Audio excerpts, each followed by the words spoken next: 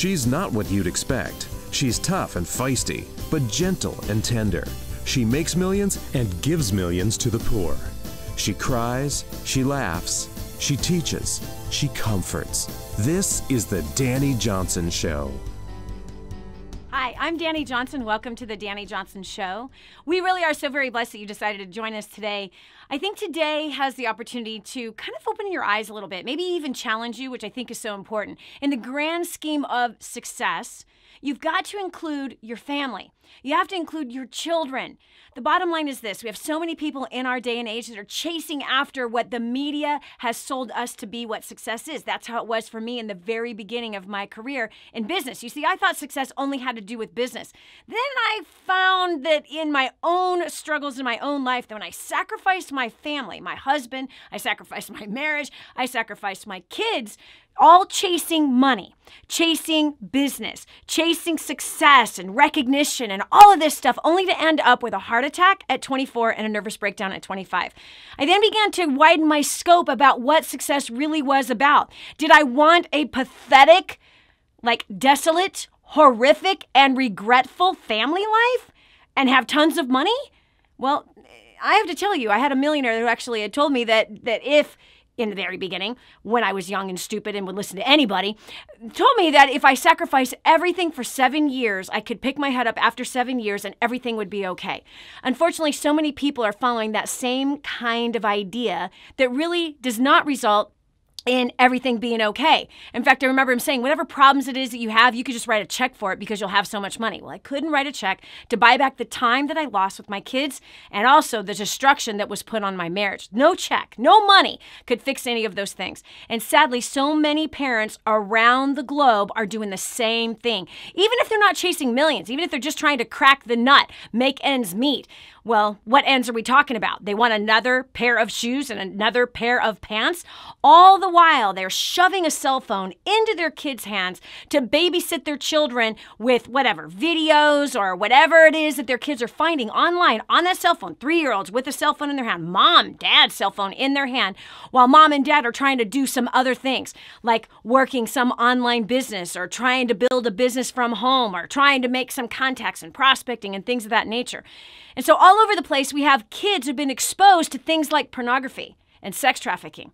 And the parents are not even thinking to have the conversation with their kids about those particular topics.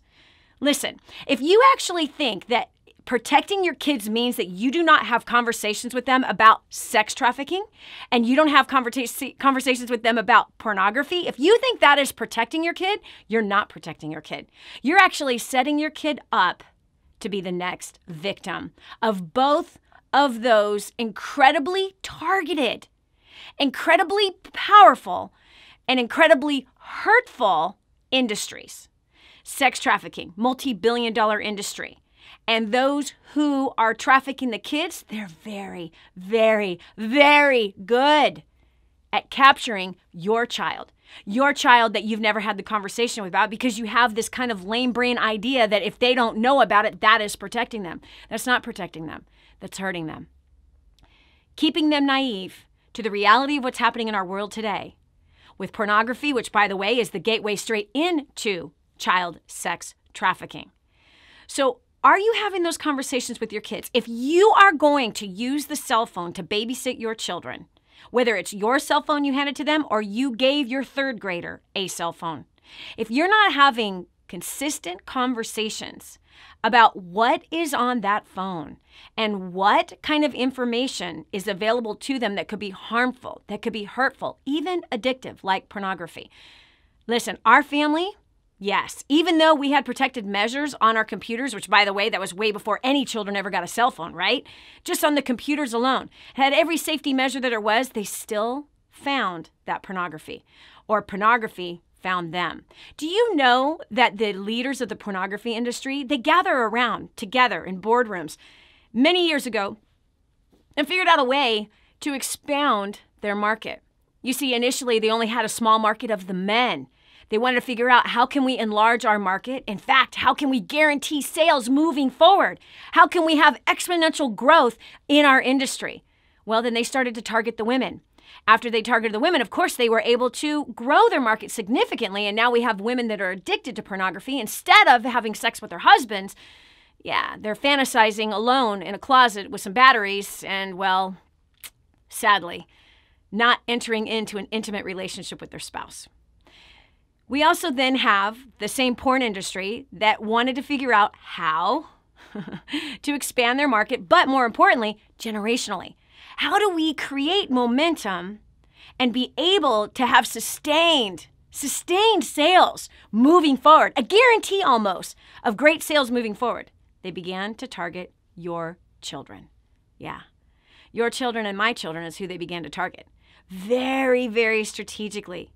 Yes, camping out on homeschooling sites and writing different ways, like wrong ways of spelling that homeschooling site, waiting for the domain name of the homeschooling site to expire, and then bam, they pounced right on it and bought that domain name.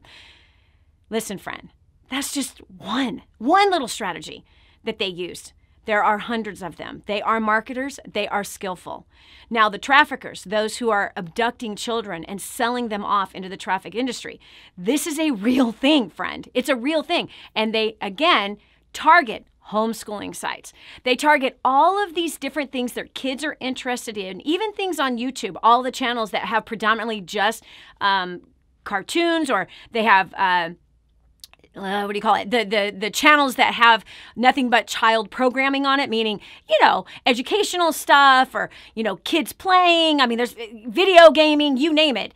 These particular traffickers specifically target any sites or channels that have to do with kids. Social media being another one. Again, YouTube being another one. All the places that you think are safe. Oh, and by the way, especially those Christian sites. Oh, yes, especially those. In fact, the pornographers also target the Christian sites. Why? Because it's largely known that Christians are not as hmm, wise with their children as, say, the non Christians are. It's like the trippiest thing. Sadly, often, the Christian just kind of puts it on the church to raise their kids, puts it on the church. You know, if I bring my kids to church, then they're going to be okay. If I bring my kids to youth group, then it's going to be okay. If my kids go to VBS during the summer, then they're going to be okay. If I may, if I limit the music to Christian music that my kids listen to, then they're going to be okay. You see, it's largely known that even Christian parents do not have those important conversations with their kids, open conversations. But instead, they're just kind of, I don't know, codependent with a building, hoping the building is going to program their kids for them. So, we're going to talk about today the importance of you not shifting your responsibility of having sex conversations. Yes, conversations about sex, conversations about porn, conversations about sex trafficking, and how that entire world exists and what it does and how it targets without imparting fear into your children, but instead imparting wisdom into your children. This is a real issue today, friends. And if you're going to be the person that puts a cell phone in your child's hands, guess what, friend? And not to mention, you can't control this. You have your your kids' friends who their parents have put a cell phone in their hands with no responsibility, with no protective measures and no conversation. So it's really simple for one of those people who is targeting your child and my grandchildren for trafficking through pornography first, leading them down a path, through social media, by the way, as well, through community type sites, through gaming sites. The list goes on of all the different ways. I mean, come on, you just have to think about it for a minute. All the different places wherever children are. Hello, they're targeting your baby. They're targeting it. So, what should you do? We asked this question on Facebook, and we also found some statistics that I think might kind of seal the deal for you. According to growingwireless.com, 56% of children age 8 to 12 have a cell phone. That's like half the population. Okay, maybe your kid doesn't. And maybe you have had these conversations with your kid, but guess what? If, it, if half of their friends from 8 to 12 have a cell phone. And if mom and dad are as busy as most mom and dads are, they're not checking that cell phone. They're not checking the history. They're not paying attention. They're not doing the random checks. There's not having any parameters on it. Okay, the average exposure age to pornography is 11 years old. Hmm, interesting, right? Kid gets a cell phone from 8 to 12. The average pornography age uh, kid that's being exposed to it is 11 years old, but it's falling as more and more young kids have access to cell phones and tablets. They can access this through tablets as well. That's according to Global News. Most parents think that the right time to start talking about kids about sex or sexual objects is 11 years old or older. I did not wait till my kids were 11 to start planting seeds about them being protected and to watch out for, hello, these types of things like the damage that that happens from these particular injuries the kind of people that get hurt. Listen i was molested. I told my kids about me being molested. In fact i had that first conversation with erica when she was four years old. Yes on how to protect herself and how to honor her body and how to honor the space of other men and that how men can be stimulated in a way that's not their heart to be stimulated in that way but they can be stimulated physically get the wrong idea and then we can be in a very horrible and hurtful situation. And so, about keeping her body protected, protecting other men, protecting their honor, protecting their bodies by her not jumping on their lap and sitting and bouncing up and down on their lap, which obviously, unfortunately, can help to stimulate the man, which is a terrible thing. Whether it was her father or an uncle or a family friend or a cousin, I mean, the list goes on. I mean, how many men that are inside of all of our children's lives? And the fact is, is not a single one of them wants to harm the child. But at the same time, if the child is super flirtatious, if the child is, um, you know, sitting in places maybe that they shouldn't be sitting in, and if they're sitting in a way that they shouldn't be sitting, this is why it's so important, again, to have the conversation with both your girls and boys. All right, so we had some uh, statements on this and we had some responses on Facebook. And by the way, if you haven't joined us on Facebook, you need to. You need to come over to Facebook, Instagram, and Twitter. You can find us at Dani Johnson Live. That's D A N I Johnson Live to enter in on the conversation. And wherever it is that you're watching today, please communicate with me because we love, love reading your comments and, and hearing your perspective. So I want to know from you, and please just type it type it below have you had the conversation with your kids? Are you in that place going stumped? Like, I don't know what I'm supposed to say. I don't know what to do.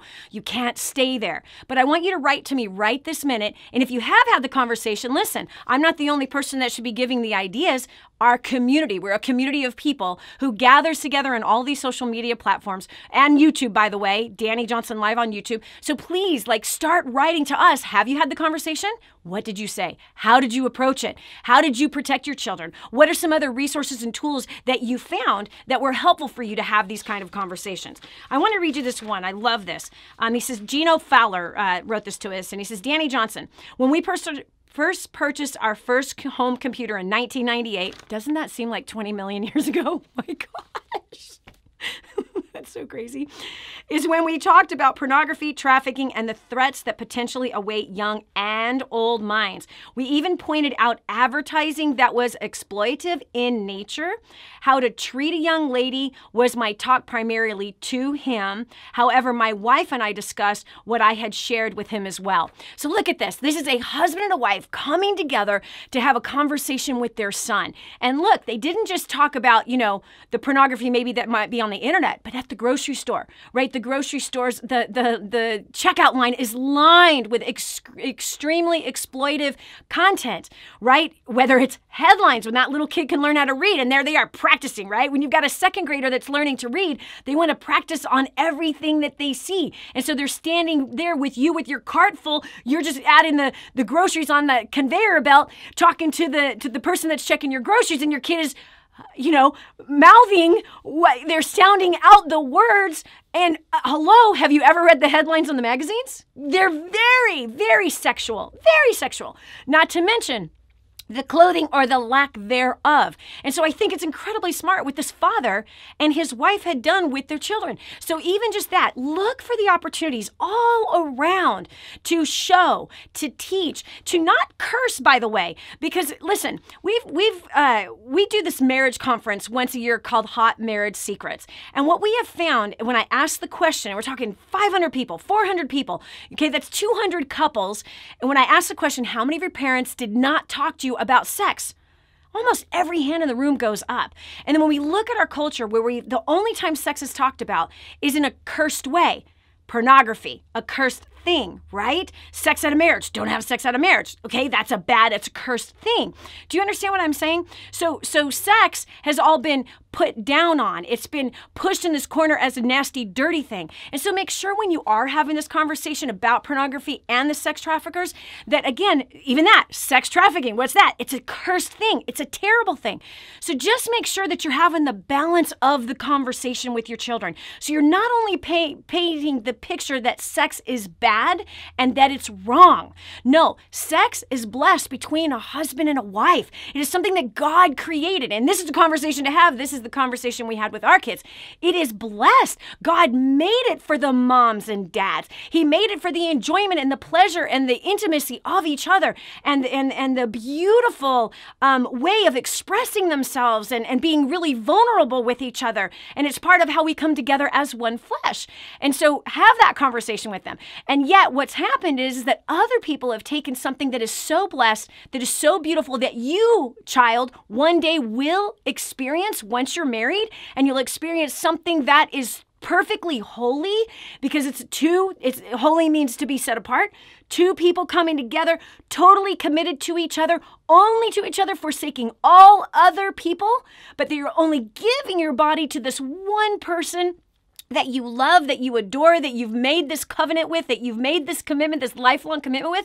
And that is a blessing for that. And this is a holy act between a husband and a wife to enjoy each other and have a blast together. But what's happened is, is that other people have distorted that. They have perverted that very thing that was set aside to be a blessing between a husband and a wife, and they've completely perverted this thing.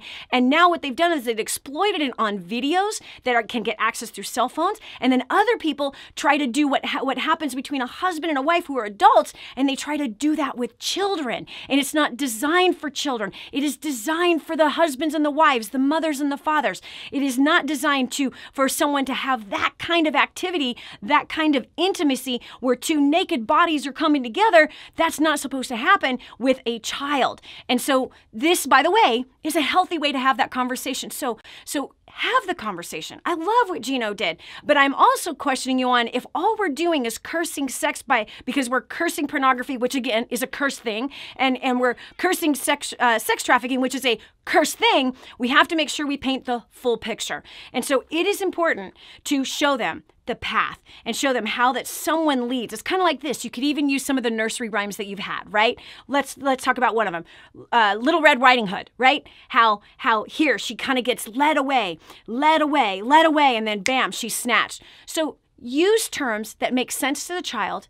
Do not do not think that not talking about it is going to protect your child. You've got to have the conversation. You got to have it consistently and let it be a two way conversation or a three way. Mom and dad and the child, ask them what they think about it. Ask them where they see that it's going on. Ask them what they've heard at school. Again, open, loving, not cursed. If you see this, and no, don't do that because you're going to clam your child up, but draw out of them what they think it is, what their idea of it is what they've heard about it, what they've seen about it, where they've seen it, who they've heard it from.